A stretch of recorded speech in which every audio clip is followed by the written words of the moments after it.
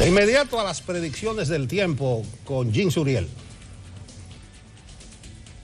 Muchísimas gracias, muy buenos días. Tendremos el panorama prácticamente despejado o parcialmente nublado en gran parte del territorio nacional.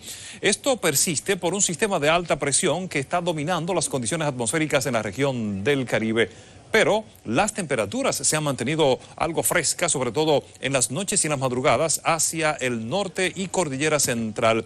Al norte del Caribe hay una masa de aire muy fresca que está aportando este ambiente en República Dominicana. Será para el fin de semana cuando una nueva vaguada pueda acercarse al norte del país y así poder incrementar las precipitaciones en gran parte de República Dominicana. Estas han sido las informaciones del tiempo. Regreso con ustedes.